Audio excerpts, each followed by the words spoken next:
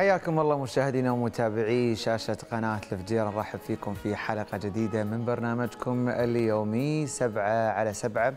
لنسلط الضوء على مجموعة من الأخبار أكيد من جميع إمارات الدولة ومن إمارة الفجيرة على وجه الخصوص. نتمنى بإذن الله أن تسعدوا معنا خلال هذه الحلقة ونقدم لكم كل ما هو مفيد لكم ولأسرتكم وللمجتمع بشكل عام. مشاهدينا الكرام طبعا راح نبدأ معاكم بهذا الخبر المفرح وأكيد أمس الإمارات شهدت فرحة كبيرة في الوسط الرياضي وأكيد كلنا سعدنا بهذا الخبر. ولكن لفتتني تغريدة جميلة أحب أني طبعا أسلط الضوء عليها. أسعدنا وأمتعنا وأفرحنا الزعيم العيناوي بتأهله لنهائي كأس العالم للأندية 2018 أداء رجولي وبطولي من فريق يعشق البطولات. ألف مبروك وعقبال الكاس. وبهذه الكلمات المعبرة مشاهدينا الكرام غرد وبارك صاحب السمو الشيخ محمد بن راشد آل مكتوم نائب رئيس الدولة رئيس مجلس الوزراء حاكم دبي رعاه الله بتأهل نادي العين إلى نهائي مونديال الأندية بعد فوزه أمس على ريفر بليت الأرجنتيني. كما غرد صاحب السمو الشيخ محمد بن زايد ولي عهد أبو ظبي قائلا أسعدنا تأهل نادي العين إلى نهائيات كأس العالم للأندية. تمنياتنا أن يتواصل الأداء البطولي للعيناوي لتحقيق الإنجاز التاريخي المشرف وأن تقف جماهير الإمارات الوفية خلفه التي طالما صنعت الفارق لنرسم معا فرحة وطن بإذن الله. فريق العين حقق إنجاز غير مسبوق لكرة الإمارات وتأهل إلى وتأهله إلى نهائي مونديال الأندية بعد فوزه بركلات الترجيح على طبعا الأرجنتيني ريفر بليت على طبعا استاد هزاع بن زايد واكيد الزعيم ما شاء الله قدم مباراة ماراثونية. انتهت أشواطها طبعا الإضافية اثنين مقابل اثنين واحتكم الفريقان إلى ركلات الترجيح ويعتبر العين ثاني فريق عربي يتأهل إلى نهائي مونديال الأندية بعد طبعا الرجاء البيضاوي وصيف نسخة 2013 وسيواجه الزعيم الفائز من مباراة ريال مدريد وكاشيما الياباني اليوم وقد عاشت جماهير الإمارات أكيد ليلة سعيدة. مثل ما ذكرنا أمس بتأهل نادي العين طبعا الزعيم إلى إلى النهائي. نتمنى الفوز إن شاء الله العيناوي في مباراته النهائية ليتحقق الإنجاز التاريخي ويفوز بلقب كأس العالم للأندية لعام 2018 مشاهدينا الكرام حلقتنا اليوم مليئة أكيد بالعديد من المواضيع وأكيد مع بلدية آه نبدأ معكم مع بلدية مدينة العين تعقد الملتقى السنوي للموظفين والتسامح رسالة الإمارات إلى العالم في عام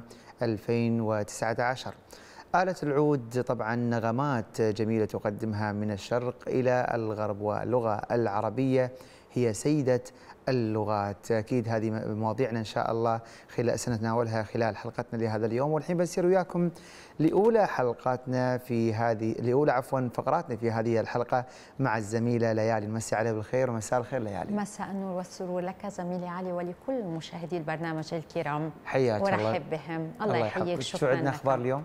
آه علي بتوجيهات مباشرة من سمو الشيخ الدكتور راشد بن حمد بن محمد الشرقي رئيس هيئة الفجيرة للثقافة والإعلام حفظه الله.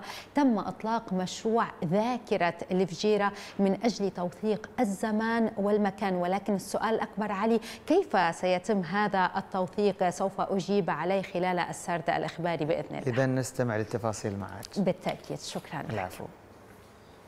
حياكم الله مشاهدينا أينما كنتم تتابعونا وأهلا بكم إلى هذا الموجز الإخباري لليوم الأربعاء الموافق التاسع عشر من ديسمبر 2018 بعث صاحب السمو الشيخ خليفة بن زايد آل نهيان رئيس الدولة حفظه الله رسالة خطية إلى سيريال رامافوزا رئيس جمهورية جنوب إفريقيا تتعلق بالعلاقات الثنائية المتميزة التي تربط البلدين والشعبين الصديقين إضافة إلى عدد من القضايا ذات الاهتمام اهتمام مشترك. جاء ذلك خلال استقبال رئيس جمهورية إفريقيا سعادة سعيد الهاملي. سفير الدولة لدى جمهورية جنوب إفريقيا. وفي هذا الإطار قال الهاملي إن العلاقات بين دولة الإمارات العربية المتحدة وجمهورية جنوب إفريقيا ترتقي إلى مستويات متقدمة نظرا للتنسيق والتعاون بين البلدين على المستويات كافة في ظل توجيهات قيادتي البلدين من أجل تحقيق المزيد من النمو والاستقرار من خلال توفير شراكات واعدة. على صعيد آخر وجه صاحب السمو الشيخ محمد بن راشد آل مكتوم نائب رئيس الدولة رئيس مجلس الوزراء حاكم دبي رعاه الله بالعمل على إطلاق تقرير حالة ومستقبل اللغة العربية ليكون أساسا ودراسة موسعة لمقاربة تحديات اللغة العربية بطريقة علمية تساعد على تطوير أساليب استخدامها وتعليمها وتمكينها كوسيلة للتواصل واكتساب المعرفة. وفي هذا السياق أعلنت وزارة الثقافة وتنمية المعرفة عن تبنيها لتوجيه سموه وذلك خلال اجتماع المجلس الاستشاري للغة العربية الذي يعد جزءا من الأجندة الوطنية لمئوية الإمارات 2071 وفي الإطار عينه أكد صاحب السمو الشيخ سعود بن صقر القاسمي عضو المجلس الأعلى للاتحاد حاكم إمارة رأس الخيمة فخر واعتزاز دولة الإمارات بجهود فارس الكلمة. صاحب السمو الشيخ محمد بن راشد آل مكتوم نائب رئيس الدولة رئيس مجلس الوزراء حاكم دبي رعاه الله الذي أبرز هيبة اللغة العربية. وقال سموه في تدوينة في إنستغرام مقتبس أخي الشيخ محمد بن راشد آل مكتوم أبرز هيبة اللغة العربية وهويتها وحضورها المميز في الوطن العربي من خلال مبادرات سموه العالمية في مجال المعرفة والحفاظ على اللغة العربية.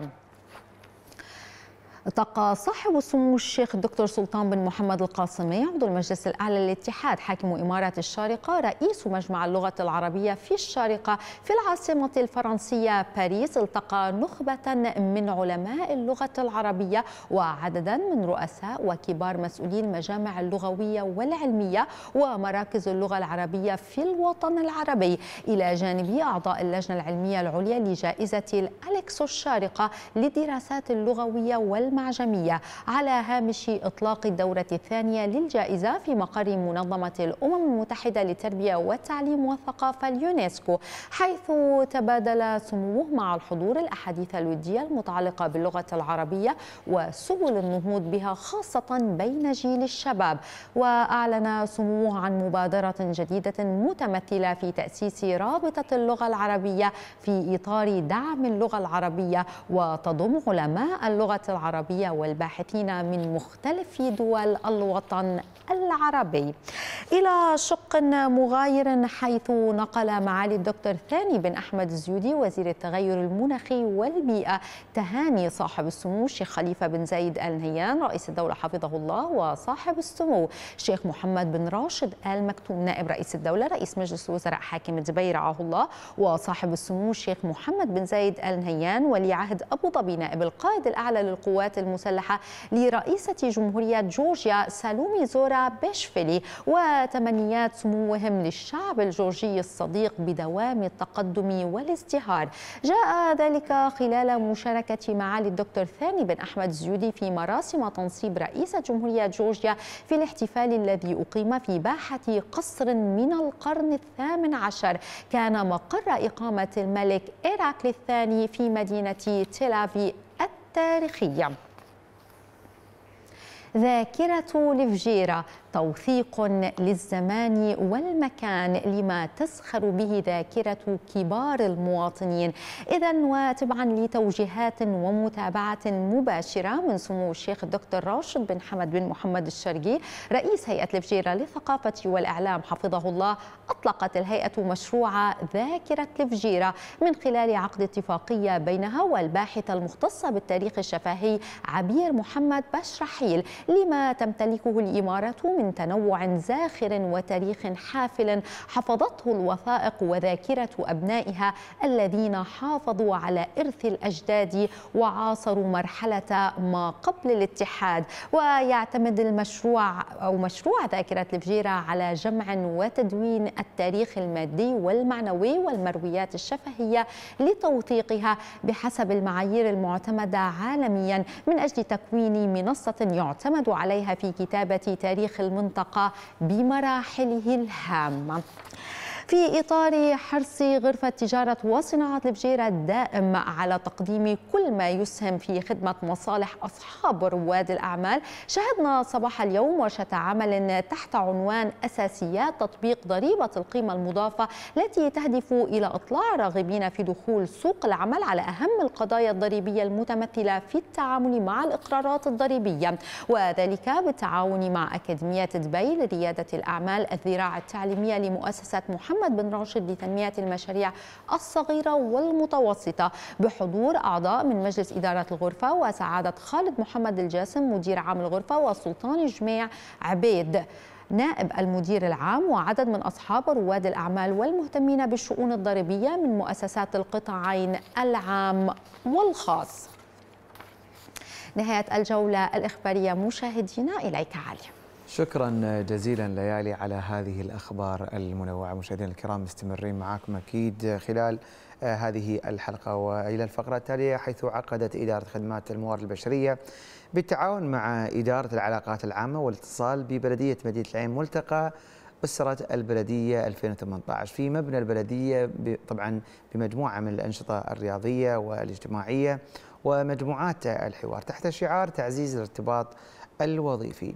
والمزيد من التفاصيل حول هذا الملتقى معنا عبر الهاتف مباشرة الأستاذ سعيد مطر غدير المزروعي رئيس قسم تدريب وتطوير الموظفين في بلدية مدينة العين حياك الله معنا أستاذ سعيد حياكم الله أخوي علي ومشكورين على الاستضافة في قناتكم المميزة. الله يحفظك سعيدين جدا بوجودك معنا، بداية لو نتحدث عن ملتقى أسرة البلدية لعام 2018 والهدف منه.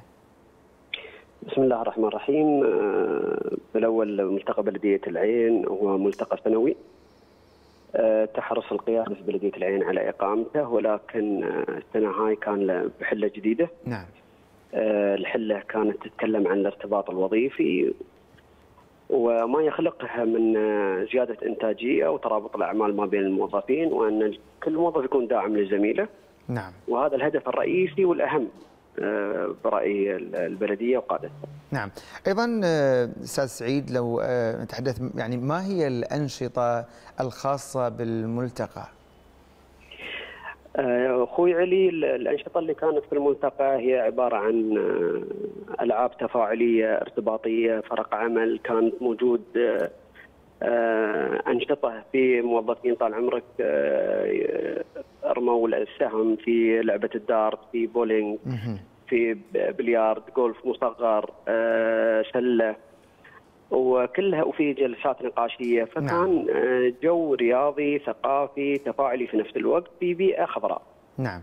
جميل ما انكم يعني تتحدثون أو شعار طبعا آه، هذا الملتقى هو الارتباط الوظيفي لو نتحدث عن يعني ما هي طرق تأهيل وتطوير وأيضا تنمية القدرات البشرية لدى الموظفين من خلال هذا الملتقى أشكر أخوي علي على السؤال مفصلي صراحة سؤالك إدارة الموارد البشرية تركز دائما على آه، اطلاق تيم آه، سنوي يهدف إلى زيادة آه، معيار معين نشوفه مهم لزياده إنتاجية الموظفين كالارتباط. نعم.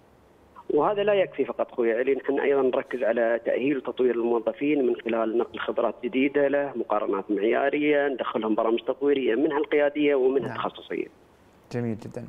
آه، أستاذ سعيد كلمة أخيرة حاب تختم فيها. كلمتي الأخيرة آه، الحمد لله رب العالمين نحن في دولة تدعم آه، الموظف كل موظف في بلدية العين وفي النطاق الحكومي وين ما كان في إمارة أبو ظبي وفي دولة الإمارات كلها هو عبارة عن قائد نعم.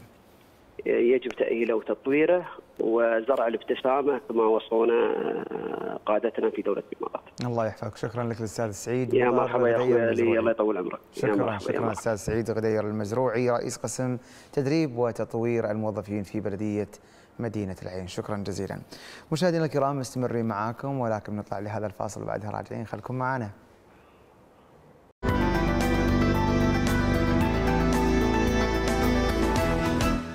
حياكم الله مشاهدينا من بعد هذا الفاصل. أيام قليلة تفصلنا عن عام 2019 عام التسامح العام الذي تم الإعلان عنه من قبل صاحب السمو الشيخ خليفة بن زايد آل نهيان رئيس الدولة حفظه الله ورعاه وهو امتداد لعام زايد كونه يحمل أسمى القيم التي حرص عليها المغفور بإذن الله تعالى الشيخ زايد بن سلطان آل نهيان مؤسس دولة الإمارات العربية المتحدة وطبعا ساهم وطبعا وأصر على ترسيخ هذه القيمة في أبناء الإمارات ونظمت في هذا الموضوع نظمت جمعية الفجيرة الاجتماعية الثقافية جلسة حوارية عن عام التسامح ومناقشة الأحداث التي طبعا ستنفذها الجمعية خلال هذا العام المقبل.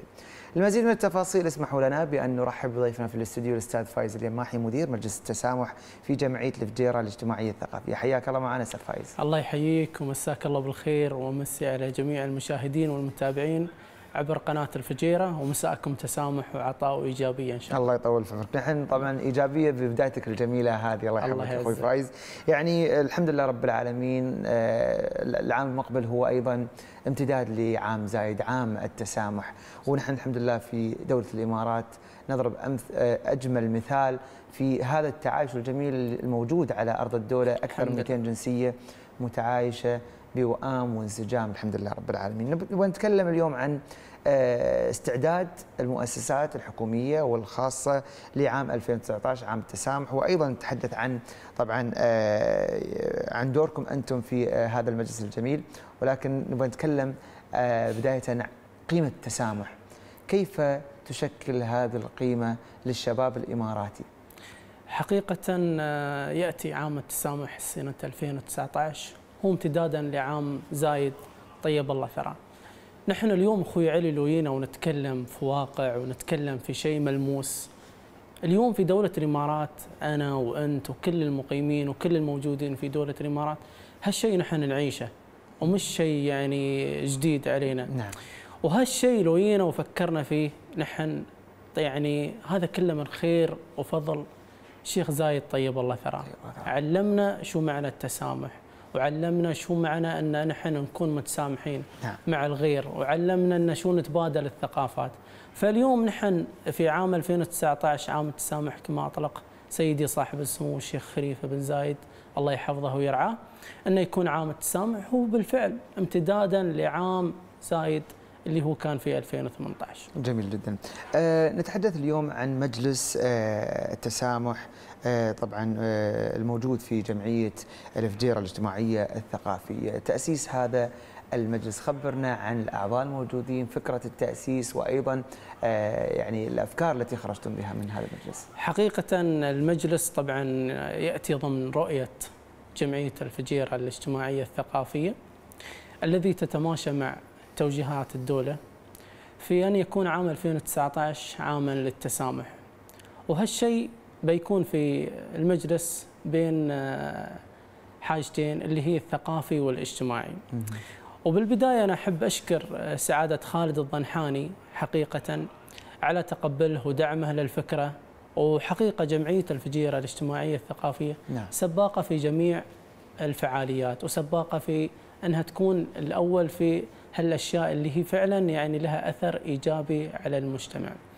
فاليوم نحن لو جينا تكلمنا عن مجلس آه، التسامح اللي يتبع لجمعية الفجيرة الاجتماعية الثقافية نعم تم إطلاقه حقيقة البارح يعني الله. سباقين ما شاء الله حتى الخبر بعده ما نزل في الجرايد وهذا شيء حصري لقناة الفجيرة أكيد. آه، من خلال جلسة حوارية شاركنا فيها عدد من المسؤولين في إمارة الفجيرة على رأسهم سعادة خليفة خميس مطر الكعبي رئيس الغرفة نعم. وسعادة محمد علي الملة نائب آه، الأول لجمعية الفجيرة الخيرية وبعض الأخوة والمسؤولين والدكاترة والأساتذة. حقيقة تم الإثراء على هالموضوع. وفي النهاية لو نحن رجعنا. وشفنا المواضيع ترى نحن الأشياء اللي قاعدين نذكرها وبنسويها هي قاعدين نعيشها من يوم ما انولدنا ومن يوم صغرنا. هناك أهداف للمجلس حقيقة. تم اتخاذ هذه الأهداف من قبل آه، اللجنة العليا الوطنية نعم. في دولة الإمارات هناك اطلقوا سبع أهداف وتم اختيار منها ثلاث أهداف اللي هي تتماشى مع اختصاصات جمعية الفجيرة الثقافية. مم. الهدف الأول هو التسامح في المجتمع في تعزيز قيم آه، التسامح بين الأسرة والانفتاح على المجتمعات الأخرى. جميل. الهدف الثاني للمجلس بيكون التسامح في آه، التسامح الثقافي. نعم. بين آه، طبعا بيكون لا إله إلا الله محمد رسول الله هو التسامح بين الجاليات والمقيمين في دولة الإمارات جميل. والانفتاح على آه، المبادرات اللي تكون ما بيننا وما بينهم أما الهدف الثالث اللي راح يكون من ضمن أهداف المجلس وهو الهدف الأخير النموذج الإماراتي في التسامح نعم. وهو بيكون بإذن الله تعالى إحنا كيف نسوي منصات حوار مؤتمرات إحنا نعزز قيمة التسامح. وطبعا هذه الثلاث أهداف مأخوذة من اللجنة العليا الوطنية نعم. للتسامح من ضمن سبع أهداف أطلقتها دولة الإمارات. جميل. طبعا هذه بالنسبة للأهداف التي خرجتم بها من هذه الجلسة آه، الحوارية. نتكلم أيضا عن تفاصيل أخرى في هذه الجلسة. الحضور المتحدثين الأفكار الحديثة والجديدة وبعض الأجندة التي خرجتم بها إن شاء الله لوضعها وتنفيذها خلال عام 2019 طبعا هي الأهداف كثيرة نعم. والفعاليات كثيرة وال والما شاء الله الكل متحمس والكل يعني نعم. ولكن أنا البارح من ضمن الحضور يعني في أحد الأخوة ذكر حاجة مم. وحبيت أذكرها لأنها تامة في بالي والله. نعم. وأول مرة كنت أسمعها. فكان يتحدث عن الشيخ زايد طيب الله ثراه. طيب الله ثراه. فكان يقول لنا قصة إن الشيخ زايد كان فاتح برزتها في العين ويستقبل المواطنين ويستقبل المقيمين. ففي واحد يبغى يدخل والحرس يرده أو إن الحرس ما عطنا بال. فالشيخ زايد الله يطيب ثراه إن شاء الله. انتبه له الحاجة وزقر آه، الريال أو الحرس. قال له شو عنده؟ قال له هذا شخص يبغى يدخل يسلم عليك بس هو ديانته غير ديانتنا. قال له انزين ليش خليته برا؟ قال ما أدري قال له دخله هذا أول واحد الدخلة فدخل وكرمه أكثر ما أنه يكرم أبناء نعم. هذا الوطن نعم. فهذا الشيء نحن اليوم نتعلم منه إحنا شو ثقافة التسامح صحيح. يعني من أيام الشيخ زايد طيب الله ثراه فنحن اليوم كأبناء هذا الوطن إذا نشوف قدوتنا ونشوف اللي هم ربونا وعلمونا في هذا النهج فنحن الحين في دولة الإمارات ما شاء الله عندنا فوق ال 204 جنسية نعم ما شاء الله ما شاء الله أن نعيش وياهم نتبادل الثقافات وياهم بعيدا عن جميع الأشياء العرقية وما شابه ذلك. نعم. فاليوم إذا نحن بعد جينا نتكلم عن إنجازات دولة الإمارات، نحن اليوم الجواز رقم واحد. نعم. فهذا ما من آه، من فراغ من فراغ أو ما من هباء منثوره. أنت اليوم دولة تنظر في جميع دول العالم صرنا وأصبحنا أيقونة للتسامح. فالحمد لله على جميع الإنجازات والحمد لله على النعمة اللي الله نعم لنا فيها في ثقافة التسامح. جميل جدا يعني فعلا ذكرت مواقف جميلة أو موقف جميل للشيخ زايد وأجمل مثال طبعا أن نقتدي بهذه الشخصية صحيح. الجميلة الشهمة شخصية رائعة وعززت قيمة التسامح في أبناء هذا الوطن وطبعا ما في أجمل إن طبعا أسس دولة من سبع دانات ويمكن هذا أجمل تسامح ما بين صحيح. سبع الإمارات الجميلة وصاروا جزء آه، واحد. آه، بنتكلم أيضا اليوم دور دولة الإمارات العربية المتحدة آه، دور محوري وقوي حتى على مستوى التسامح الخارجي، تعزيز التسامح خارج الدولة، هناك مبادرات من طبعا صاحب السمو الشيخ محمد بن زايد مؤخرا قام بصلح بين دول. صحيح. اي نعم بين دول عديدة في في كانت كانت هناك خصومة لمدة يمكن أكثر من 20 سنة ولكن صحيح صحيح. آه الإمارات هي قبلة التسامح وقبلة آه طبعا كل ما هو آه جميل. كيف تقوم آه الدولة داخليا وخارجيا برأيك في دعم أيضا هذه الفكرة وتبنيها بصورة حقيقية وليس مجرد هي كلمة تقال آه، من دون أفعال. صحيح. طبعا آه، في دول كانت مثل ما ذكرت أنت في خصومات أكثر عن 20 سنة وتم الصلح من قبل دولة الإمارات. وسبحان الله يعني دولة الإمارات تفعل هالشيء بعيدا عن أي مرجع أو أي مصلحة. نعم. هذا الشيء علمنا له زايد الله يرحمه. أنا على هالسبيل على هالطاري أنا بجيب لك آه، كنا في قبل تقريبا أسبوعين نعم. في إيطاليا في روما في التحديد. في كنا أيام الفجيرة الثقافية. نعم. فالناس تشوف إن نحن كيف نعرض لهم ثقافتنا نعرض لهم عاداتنا وتقاليدنا نعرض لهم إحنا كيف أصلا متسامحين. فكانوا ال- الأخوة هناك والمقيمين في روما يعني يسألوه ويستفسروا هل أنتم هاي عاداتكم؟ يشوفونا كيف نستقبلهم في صدر رحب كيف نعلمهم كذا. فهالشيء إذا دل دل على ان نحن متسامحين مع الكل. نعم. يعني بعيدا عن الديانات بعيدا عن العرقية بعيدا عن شتى المجالات. نعم. فحقيقة كانت أيام جدا جميلة في روما. هي أيام الفجيرة الثقافية تأتي تحت رعاية كريمة من, صح من سمو الشيخ محمد بن حمد الشرقي ولي عهد إمارة الفجيرة. وحقيقة لاقت نجاح كبير. حتى أن أذكر أن يوم طلعنا في ناخذ تور في الحافلة. والناس تشوفنا ونضحك معاهم ونسولف ونكلمهم عن عاداتنا وتقاليدنا. نعم. فانت هني تعكس صورة إيجابية. صحيح. فدائما يقول لك مثال يقول لك ولد زايد خير مثال وين ما كان. صحيح. وخير سفير وين ما كان. فهالشيء اللي تعلمناه من قيادتنا وحكومتنا الرشيدة. الله يحفظك يا رب. أخوي فايز أيضا ما آه، برجع على مجلس التسامح في جمعية الفجيرة الاجتماعية آه، الثقافية. هناك يعني لا شك أن اليد الواحدة لا تصفق كما يقال. صحيح. ما ما هو دوركم أنتم أيضا في المجلس بالتعاون مع جميع الجمعيات في آه، آه، الدولة وأيضا حتى المؤسسات الأخرى وأيضا الخاصة بالتعاون أيضا آه، مع بعض للوصول للهدف المنشود من خلال وتطبيق الأج- الأجندة آه، يعني ال- ال- التي خططتم لها خلال هذا العام. تعرف في النهاية المصب واحد. يعني. كل الدوائر كل المؤسسات كل سواء الحكومية والخاصة هي هدفها واحد في هذا العام. ما هو دوركم في هذا الجانب؟ طبعا نحن عندنا شراكات مع جميع الدوائر المحلية والاتحادية في إمارة الفجيرة وخارج إمارة الفجيرة. نعم. حقيقة في هناك جهات داعمة رئيسية للجمعية ودائما متعاونة معنا اللي هي تأتي مؤسسة الفجيرة للموارد الطبيعية نعم. آه، غرفة تجارة وصناعة الفجيرة آه، وبعض آه، الدوائر اللي يتم التعامل معها. حقيقة مثل أنت ما ذكرت أخوي علي أن إيد واحدة اليوم ما تصفق. فنحن اليوم في جمعية الفجيرة ومجلس التسامح بالذات إحنا ما نعتبره مجلس آه، التسامح اللي في الجمعية فقط، إحنا نعتبره شامل لإمارة الفجيرة، صحيح. اليوم مثلا إحنا لو تجينا أي جهة ومن ضمن آه، التوجيهات اللي يعني في المجلس وفضل الله وثم فضل سعادة خالد الضنحاني ان راح هناك تكون في خطة. قبل بداية العام إن شاء الله راح نمر على جميع الجهات الموجودة في إمارة الفجيره وراح نتناقش معاهم شو اللي نقدر نفيد ونستفيد منه. في النهاية مثل أنت ما ذكرت أخوي علي ترى الهدف واحد.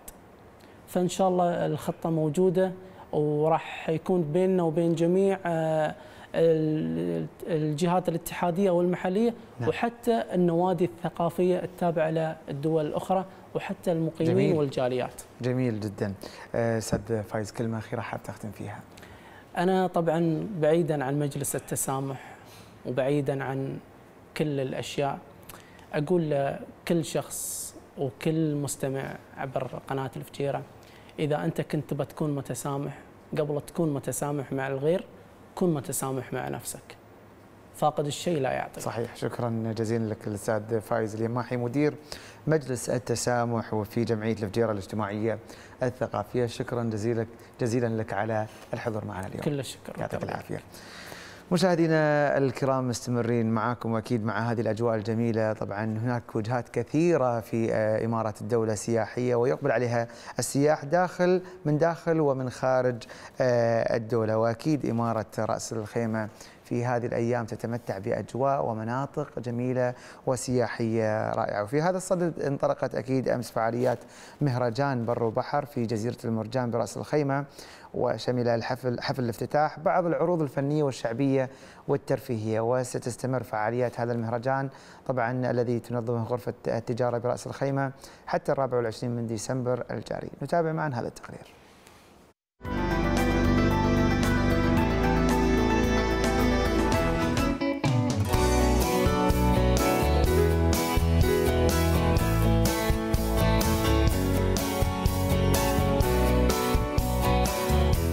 هذا آه، المعرض اللي ينظم لأول مرة آه، في راس الخيمة.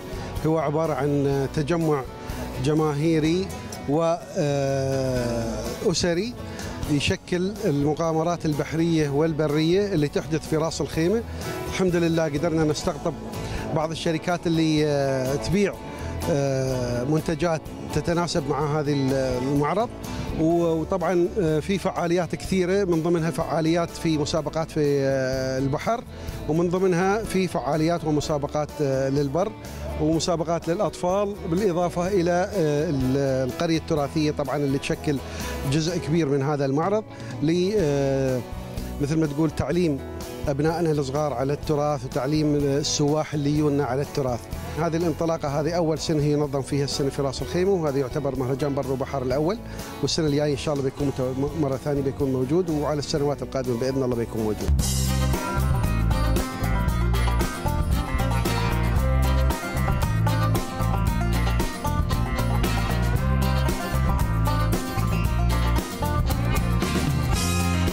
نظمنا آه، في مركز راس خيمة معارض مهرجان بر وبحر تابع نحن في تابعين لغرفة راس الخيمة.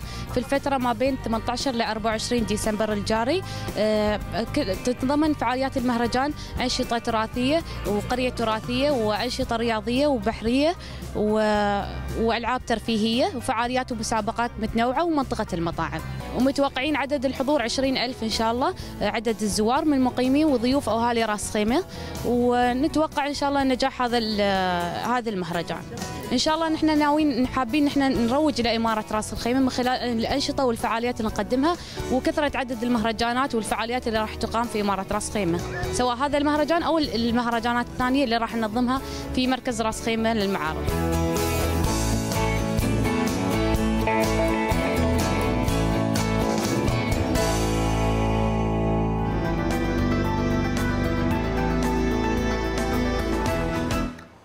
مشاهدينا الكرام تعد آلة العود من أقدم الآلات الموسيقية طبعا التي صنع في التاريخ العربي وهي آلة أساسية في التخت الشرقي وتعددت طبعا الدول العربية التي تسابقت على صناعة العود. بنتعرف بنتعرف أكيد على التقرير نشوف معكم.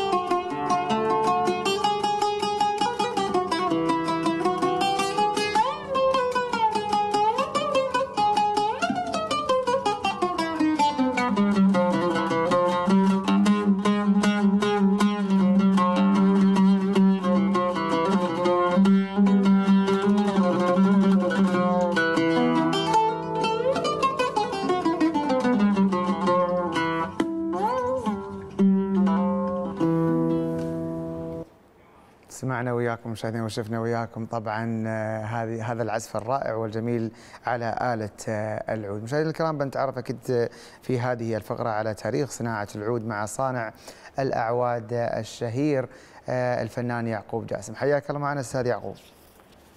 الله يحييك حبيبي. يا مرحبا بك. سعيدين جدا بوجودك معنا. الله يسلمك أنا اللي اسعد يا مرحبا بك. بداية أكيد آه، آلة العود هي من أشهر الآلات عالميا وليس على مستوى فقط الوطن العربي. نبغى نتكلم عن تاريخ صناعة العود في العالم العربي. والتاريخ يعني من سنوات قديمة آلة العود ولكن آه، في نقطة مهمة. نعم. الآلة الوحيدة اللي هي المضمومة من قبل الآلات الأخرى يعني. آه، كل الآلات تصنيفها وصل عالميا. ما عدا العود ما زال يعني آلة مهمة ولكن ما أخذت حقها. دائما إحنا نقول العود مظلوم. نعم. أيضا وإحنا آه، قاعد نسعى إلى وصوله للعالميه والإنجازات اللي حققناها بالسنوات اللي فاتت. الطموح والهدف إنه يوصل إلى العالمية. وإن شاء الله يعني آه، قريبا يعني بإذن الله تعالى. يوصل هذا العود إلى العالمية. بإذن الله تعالى. نبغى نتكلم عن تاريخ آلة العود يعني آه، في الوطن العربي أو في التاريخ العربي بشكل عام. متى آه، يعني ظهر العود في في, عند العرب؟ تحديدا ما تقدر يعني اللي يقول 6500 سنة 4000 سنة. نعم. فهو له تاريخ قديم. وكان له أسامي مختلفة عن نعم. اسم العود. نعم. إيه. اذا نعم. اذا مر مر العود بمراحل تطور عد- عديدة وأيضا تطورت آه، آه، مراحل صناعة آه، العود من- منذ الماضي وحتى وقتنا الحاضر. ما هي النقلات الحقيقية يعني للعود في تاريخ الوطن العربي؟ على الأقل الحديث ال- الحديث الحديث طبعا العود أول ما آه، كان يعني على أيامه حتى الوجه كان جلد مو يعني مو مو خشب. نعم. وكان فتحة واحدة بعدين تطور إلى ثلاث فتحات آه، زرياب أضاف آه، وتر عليه. نعم. آه، ووصل إلى ست أوتار حاليا. نعم. هل هناك أنواع آه، يعني لآلة العود؟ من من بلد إلى بلد أو من من من منطقة إلى أخرى؟ في في طبعا آه، آه، في من آه، مصر في من تركيا في من جميع الدول. ومن الخليج في. ويختلف من مكان إلى آخر على حسب أكيد طبيعة أكيد أكيد.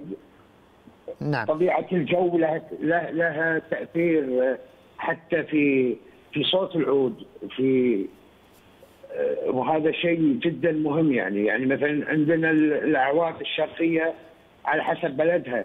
نعم. اليوم إحنا العود التركي. آه، كل كل يعني اللي كان إذا عود احترافي أو عود آه، تجاري نفس الصوت. والاعواد الشرقية مثلا العود المصري أو أو اعوادتنا إحنا لا مختلفة لها آه، طابعها.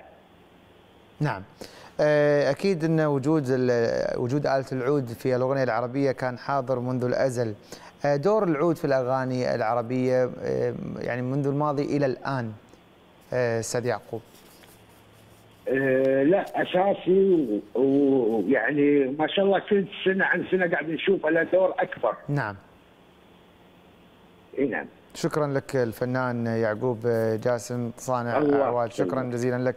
على مداخلتك معنا. شكرا. حبيبي. مشاهدينا الكرام مستمرين معاكم ولكن نطلع لهذا الفاصل. بعدها راجعين خلكم معنا.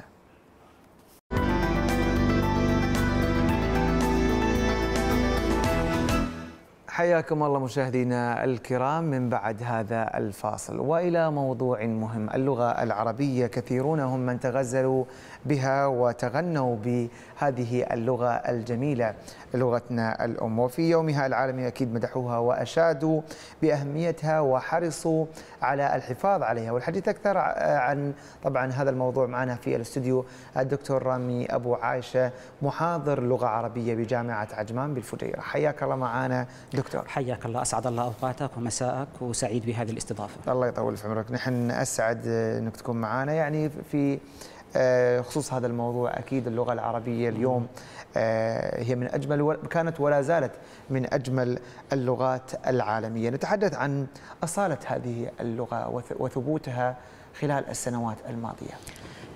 الأصالة والثبوت من أهم مميزات اللغة العربية. على مدى أكثر من 14 قرنا ما زالت هذه اللغة العربية ثابتة من حيث عدد الحروف ومن حيث النطق. نعم. آه، لماذا نشير إلى هذا الكلام؟ لأن بعض اللغات تتغير عدد حروفها تتغير مثلا كلمات. تتغير كلماتها ويضاف إليها وينقص منها اللغة العربية من حيث النطق ومن حيث عدد الحروف 28 حرف إلى أن يرث الله الأرض ومن عليها نعم. ستكون هذه اللغة العربية ثابتة من حيث النطق ومن حيث عدد الحروف الكثير يعني حديث آه، فيه الحديث عن اللغة العربية حقيقة آه، يكتنفه بعض الألم والوجع. لماذا؟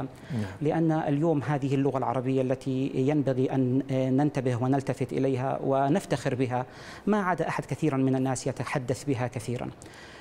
ينبغي أن نفرق بين مرحلتين هامتين. مرحلة ما قبل الإعلان عن اليوم العالمي للغة العربية في الثامن عشر من ديسمبر من كل عام. نعم.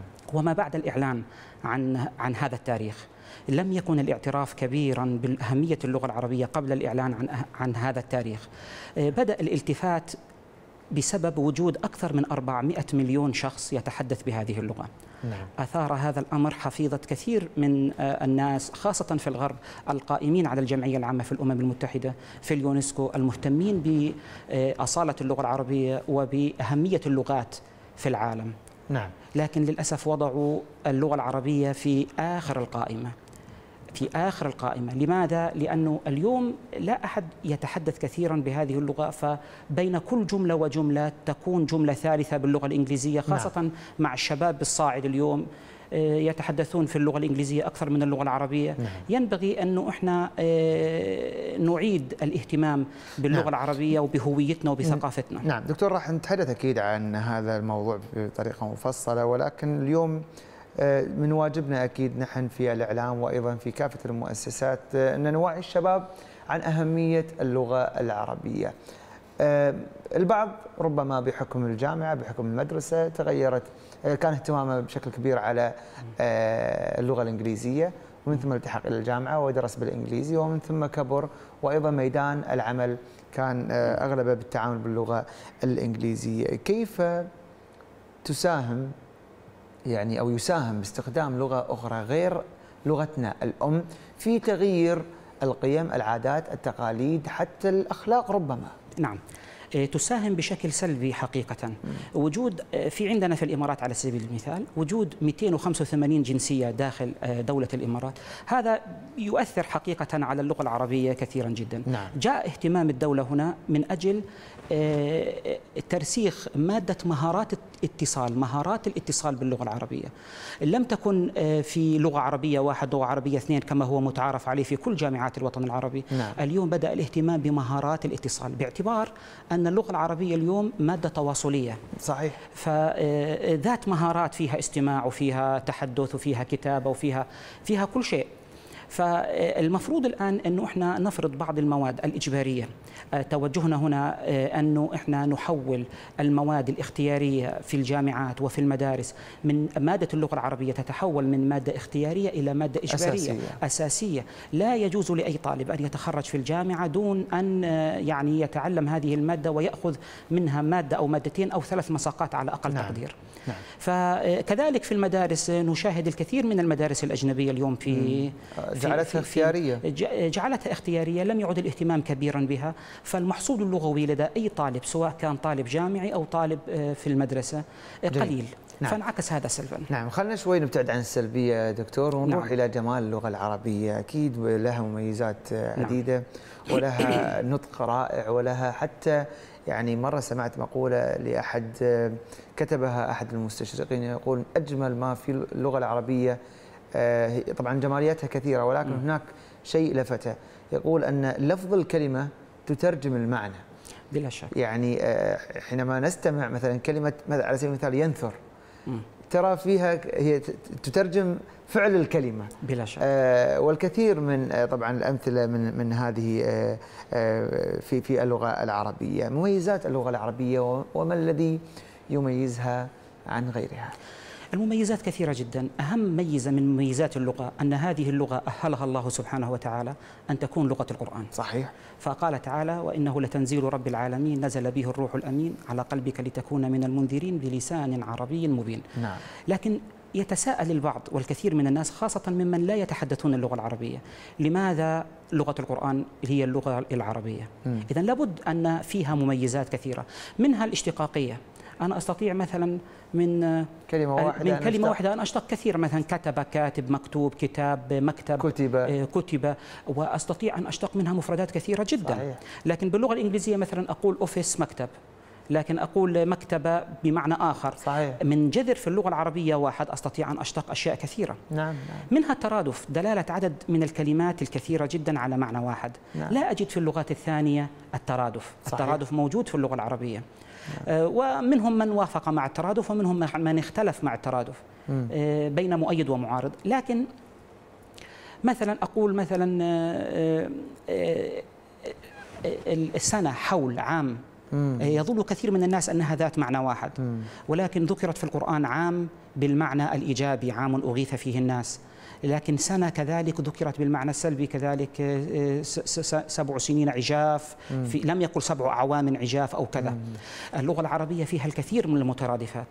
مثلا في اللغة الإنجليزية ويندو تجد في كل من يتحدثون بهذه اللغة يقولون نافذة ويندو فقط. لكن عندنا نافذة عندنا شرفة, شرفة عندنا شباك عندنا أشياء كثيرة ومترادفات. الأسد له 500 اسم.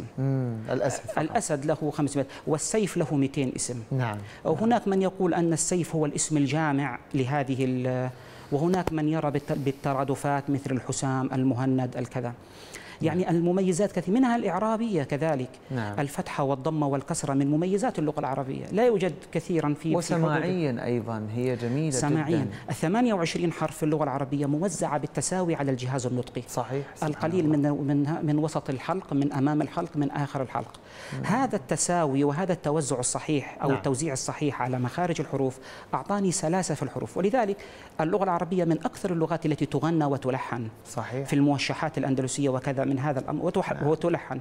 لماذا؟ لأن اللغة العربية تبتعد عن الأصوات النشاز. بحكم وجود التخفيف عندها تستطيع تستبدل حرفا مكان حرف طلبا للتخفيف على اللسان. نعم نعم. فهذا مهم جدا إنه آه، آه، لا نجد هذا كثيرا في في نعم. اللغات الثانية. وأيضا من يتحدث اللغة العربية يتحدث كل اللغات بطلاقة ويعني من ناحية نتكلم عن مخارج الحروف. على سبيل المثال نحن مثلا في اللغة العربية في اللغة الإنجليزية أو أي لغة أخرى مخارج الحروف في اللغة الإنجليزية ننطقها بكل سلاسة بلا شك. وبكل أريحية ولكن أي شخص ربما ليس عربي يصعب عليه أن ينطق الحاء والضاد وغيرها من آه، الحروف والخاء نعم. على سبيل المثال فمثل ما ذكرت دكتور أن اللغة العربية هي موزعة بطريقة سبحان الله منسقة وبتدبير رباني على كافة مناطق على كافة الحلق وأيضا آه، مناطق النطق. دكتور يعني اليوم مع مثل ما ذكرنا في بداية الحلقة هناك مدارس تدرس باللغة العربية وأيضا للأسف الأسرة صارت تدعم هذا الأمر. صارت مقتنعة تماما أن هذا الولد أنا خلني أوجهه انه يتعلم لغة إنجليزية فقط وشو بيستفيد من اللغة العربية؟ باكر إذا راح سوق العمل ما بيسألونه باللغة العربية يسألونه بالإنجليزي المقابله تكون باللغة الإنجليزية. نعم. وهذا للأسف اليوم الجامعات الجامعة لا تقبل دخول الطالب إلى الجامعة إلا بامتحان ايرس أو توفل. بلا شك. هاي مشكلة. طيب إذا أنا شاطر في كل شيء وعندي مثلا معدلي جيد أو أو أو, أو جيد جدا في الإنجليزي هل أحرم من دراستي ومن إني أدرس التخصص اللي أنا أحبه؟ فالموضوع يعني متشعب والمشكلة كبيرة. أين تكمن آه، مفاتيح الحلول؟ مفاتيح الحلول منذ الصغر. يجب أن يتم الاهتمام باللغة العربية منذ الصغر لا يمكن أن يأتي طالب في المرحلة الجامعية الآن وهو لا يستطيع أن يجيد كتابة سطر واحد باللغة العربية مم. هذه مشكلة كبيرة جدا يجب أن نهتم بإعادة الاهتمام باللغة العربية منذ مم. الصفوف الأولى ومراحل الطلب ومراحل الطلب الأولى نعم. كذلك هناك توفل باللغة الإنجليزية كما تفضلت أنا أدعو كذلك أن يكون هناك توفل مشابه باللغة العربية نعم. لكن لا نأتي بعمق التخصص إنما نقطف من كل بستان زهرة الإعراب البسيط الأشياء البسيطة الفعل الفاعل المفعول به هذه ليست بمنجا لأي طالب وليس أي طالب بمعزل عن أن يتعلمها نعم. لا يمكن لأي طالب أن يأتي الآن طالب علم سواء أو أي متحدث باللغة العربية أن يقول اللغة العربية أنا مادة صعبة أشيع بين الناس مادة صعبة لا أريدها لا أريد أن أتعلمها مادة كلها شعر فيها الجاحظ والمتنبي ومن هذا الك... لا لو بدأنا الآن من الصفر من القاعدة الأولى وتعلمناها وتع... ونطقناها ببيوتنا ونطقناها بين أصحابنا كذلك اختلف الأمر. لكن مجرد العزوف عن عنها يؤدي بعدين إلى حدوث صعوبات يواجه الطالب في نعم. في في نطقة. وال... نعم. للاسف رأينا يعني رأينا بعض الطلاب لا يجيد حتى صياغة جملة واحدة. للأسف. يكسر فيها وحتى يؤنث المذكر ويذكر المؤنث للأسف. يعني هذه مشكلة واقعة. دور هناك أدوار اتخذتها الدولة في حفظ اللغة العربية. دعنا نعرج عليها. الدور الأول أن وزارة التربية والتعليم وزارة التعليم العالي في دولة الإمارات جعلت مادة اللغة العربية متطلبا إجباريا نعم. فلم يكن في كثير من الأماكن الثانية أنه هذا مجرد مادة اختيارية يمكن أن يتجاوزها الطالب بأي سهولة أو أن يستبدلها بمادة استدراكية ثانية مادة اللغة العربية مادة إجبارية نعم. يجب أن يأخذها الاحتفال في قبل يومين قبل ثلاثة أيام الاحتفال باليوم العالمي للغة العربية من أجل أن يشار بالبنان إلى هذه اللغة وأن هذه اللغة ينبغي انها أن أن أنها تحترم وان وأن نتكلم بها ونتحدث بها، الدولة هنا بدأت الآن تلتفت إلى أهمية اللغة العربية وفتح التخصصات في كثير من الجامعات عندنا من حيث البكالوريوس والماجستير والدكتوراه بأهمية اللغة العربية، ولذلك هذه دعوة اليوم في هذه الاحتفالات باليوم العالمي للغة العربية أن يعني يتم الالتفات إلى هذه اللغة من حيث أن هذه اللغة أولا لغة القرآن الكريم وأصلا لا تجوز الصلاة كذلك بدونها حتى لو كان الإنسان مسلم ولا يتحدث باللغة العربية لا تجوز صلاته إلا أن يتعلم ولو شيئا نظرا يسيرا من هذه اللغة العربية. ففيها هويتنا إذا إذا فيها ثقافتنا وفيها قوميتنا وفيها ثقافتنا إذا ضاعت اللغة ضاع كل شيء. نعم. دكتور الأسرة لها دور محوري وأساسي. حتى لو كان في المدرسة على سبيل المثال تدرس باللغة بلغات أخرى. دور الأسرة في تعزيز حب اللغة العربية لدى لدى الطفل منذ الصغر. الحقيقة أنا أتعجب أيما إعجاب كبير من بعض الأسر الذين هم أكثر حرصهم على أن يتعلم أولادهم اللغة الإنجليزية. نعم. لا نمانع أبدا على أن يتعلم الطفل لغة ثانية ولكن يجب أن تكون هذه اللغة رديفة ومساندة للغة العربية. دورنا في الأسرة أهم من دور المدرسة. مم. دورنا في الأسرة أن يعني أنه إحنا نعلم طفلنا نتحدث معه باللغة العربية. فإذا أجاد اللغة العربية إذا أجاد لغة ثانية بعد ذلك لا بأس. لكن المشكلة التي يعني نواجهها اليوم أن إن الأطفال الشباب الصغار في المدرسة أو حتى في بداية حياتهم في الجامعة ليس له أدنى معلومة باللغة العربية فكأنه يتحدث عن عن كوكب آخر أو عن لغة ثانية رغم أنه عربي. فجاءت المبادرات هنا هنا في في الإمارات في الاحتفال باليوم العالمي بالجامعات بالاحتفالات بأهم بمعارض الكتب التي تحدث الآن في كل إمارات الدولة من أجل أن يلقى الضوء على أهمية اللغة العربية وأنها يعني لغة حضارية ذات حضور وذات ذات تقدير. نعم. نصائح دكتور تقدمها للمجتمع بشكل عام للأسرة للشباب حتى الأطفال في هذا الخصوص. النصائح التي أعود إلى عام القراءة. نعم.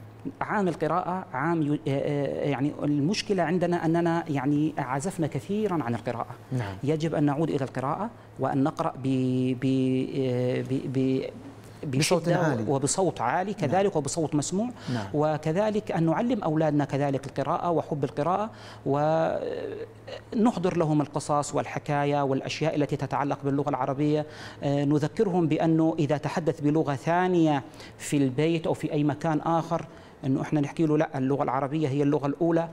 لو تعلمت لغة ثانية لا يوجد عندنا مشكلة لكن لا يجوز أن أنت تتحدث بلغة ثانية غير اللغة العربية. نعم. هي لغتنا وينبغي أن إحنا نفتخر بها. نعم نحن شاكرين لك هذا اللقاء دكتور. شكرا جزيلا لك على فعلا. سلطنا الضوء على موضوع مهم جدا. وهي آه، تحدي أو مشكلة بسيطة ولكن الحمد لله هناك آه، يعني آه، يعني هناك الحمد لله رب العالمين جهود تقوم بها الدولة في هذا في هذا الصدد للحفاظ على اللغة العربية، أيضا نود أن نعرج على جانب آخر بما أننا نتحدث في عن عن اللغة العربية، كيف ساهمت اللغة في صناعة الفنون الفنون العربية وانتشارها أيضا للعالم. آه، اللغة العربية اليوم لغة مسموعة وكون هذه اللغة مسموعة معنى هذا أنها يمكن أن تلحن ويمكن أن تغنى. ولذلك قلت يعني قبل قليل بأن اللغة العربية من أكثر القصائد العربية هي من أكثر القصائد نعم. ومن أكثر التاريخ يعني هناك كان إعجاب كبير من الغرب باللغة العربية دكتور. م. كانوا حتى الملوك الملوك الغرب في في في طبعا في السابق يتعلمون ويفتخرون بقراءة اللغة العربية بلا شك. وجيادتها وإرسال رسالة إلى الملوك العرب باللغة العربية. يعني المفردات المفردات الإحصائية التي كانت قبل ثلاثة أيام التي ظهرت من من اليونسكو أن 12 مليون و300 ألف كلمة بينما اللغة الإنجليزية مئة ألف كلمة. مم. انظر إلى هذا البون الشاسع بين اللغتين. ربما تكون اللغة الروسية 35 ألف كلمة. نعم. 12 مليون و300 ألف كلمة دون تكرار. لا يوجد مترادفات. فما بالك لو بحثنا عن المترادفات؟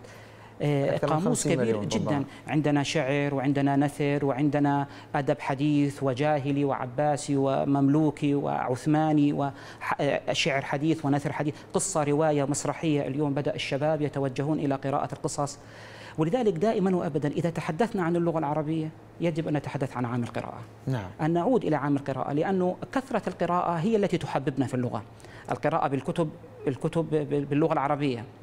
فهذا الشيء الحقيقة يعني اللي إحنا يجب انه إحنا نشير إليه نعم. لأنه هذا يؤدي إلى إلى تطور وأن نلمس التطور عندما يدخل الطالب في الجامعة. نعم. نلاحظ هذا التطور. أيضا من الأشياء اللي تساهم دكتور في آه، تطوير اللغة العربية لدى مثلا آه، آه، لدى الشاب العربي. البعض يميل إلى الشعر البعض يميل إلى الروايات البعض يميل إلى الكتب. خلينا نقول الفلسفية، كيف تساهم آه، مثل هذه الكتب في تعزيز أيضا اللغة العربية آه، بشكل عام؟ هذه الكتب الموجودة لم يصل لنا منها إلا القليل. نعم. يظن كثير من الناس بأنه المكتبة العربية اليوم الموجودة التراثية القديمة هي كل ما وصل. بعض هذه الكتب ضاع وبعض هذه الكتب بقي.